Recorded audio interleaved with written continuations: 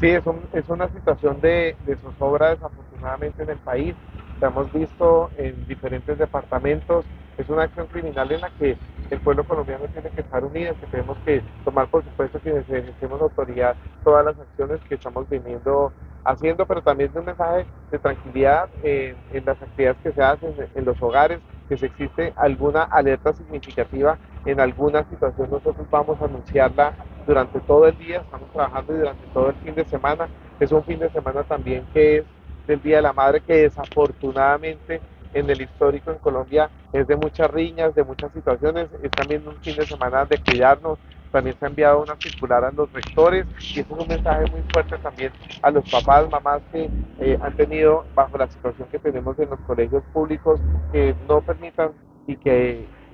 reflexionen también alrededor de la presencia de los niños, niñas en los colegios. Es un momento para ellos estar en casa, para estar acompañados. Un llamado también a los personeros y personeras para que nos ayuden, nos apoyen en esta situación que ya los rectores enviaron pues el mensaje a todas las instituciones. Entonces, estar unidos, vamos a estar dando información durante todo el día, estamos trabajando, tenemos activo todo el sistema de, de de precaución de la ciudad, de auxilio, de socorro, todas las alertas puestas en el ejército, en la policía, en la armada. Eh, y pues bueno, aquí se trata de bandidos que de manera cobarde quieren atacar a, a la gente en todo Colombia y pues desafortunadamente tenemos que enfrentar esta situación y lo vamos a hacer con todo el rigor de la ley.